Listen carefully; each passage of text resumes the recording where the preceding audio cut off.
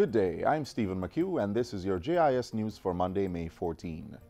After three sittings of the Upper House, the new road traffic bill was passed with 161 amendments on Friday. The bill, which was approved by the lower house with 131 amendments on February 6, seeks to repeal and replace the existing 1938 Act. The bill will establish new offenses as well as provide increased penalties for breaches. The new road traffic bill will be sent to the House of Representatives for approval, after which, if there are no changes, it will be accepted by the Governor General, gazetted, and passed into law.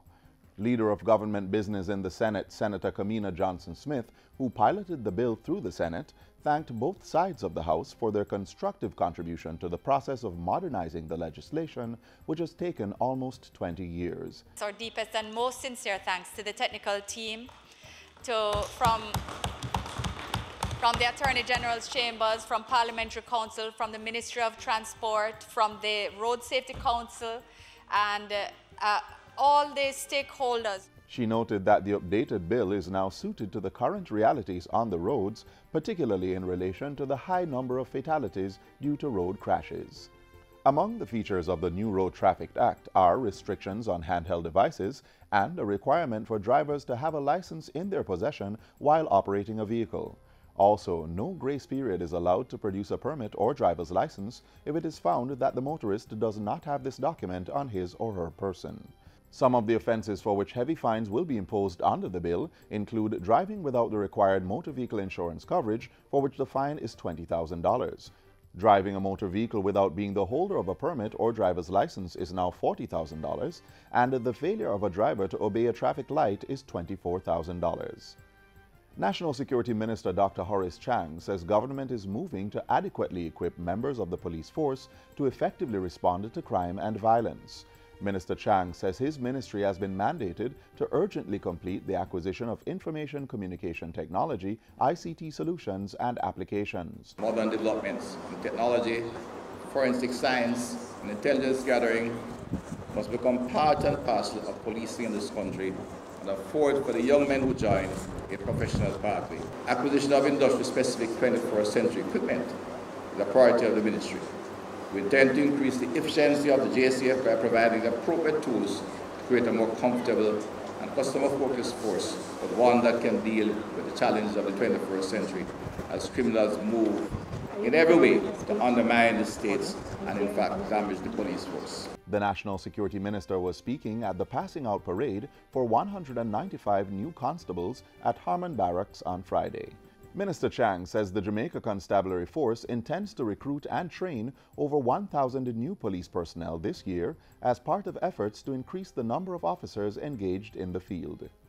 Still on security, Portfolio Minister Dr. Horace Chang has reiterated government's commitment to supporting the police force in restoring public order through the provision of the necessary human resources, technology, and infrastructure needed to effectively execute their duties. The ministry is committed to providing the commissioner and his team and the police force with equipment and the political support required to ensure that they can maintain good order in developing the wider community and society.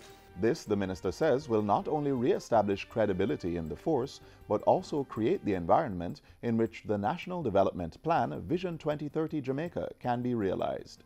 Minister Chang made the pledge Tuesday at the LASCO Jamaica Constabulary Force Police Officer of the Year Awards. Constable Davian Martin was named the 2018-2019 winner. He beat eight other officers to cop top honors at the awards, which is in its 18th year. During his tenure at the Mandeville Police Station, the constable moved the youth club membership to 80 and donated the proceeds of a 5K run walk to initiate an annual Feed the Street People program. The Jamaica Tourist Board, JTB, is aiming to engage potential visitors through the use of social media. The JTB has launched the Join Me in Jamaica digital marketing campaign. The campaign features a series of 90-second videos showcasing local Jamaican celebrities and personalities sharing unique stories of their love for the country. Tourism Minister Edmund Bartlett says to achieve growth in tourist arrivals, technology must be incorporated in marketing plans. These videos will now populate our space, our social space. And we'll be able to have connectivity to every corner of the world. And the language part of it, yes, we've worked on. And the technology allows instant translation. So utilizing technology now is to define the new path. The videos are being promoted via the JTB's social media channels. During the first phase of the campaign, a total of eight videos were produced highlighting the country's music, cuisine, and attractions. And finally, the Child Protection and Family Services Agency, CPFSA, has launched its Pediatric Pulse booklet. The booklet speaks to treatment and care of various common illnesses such as vomiting, diarrhea, seizures, fever, coughing, and wheezing.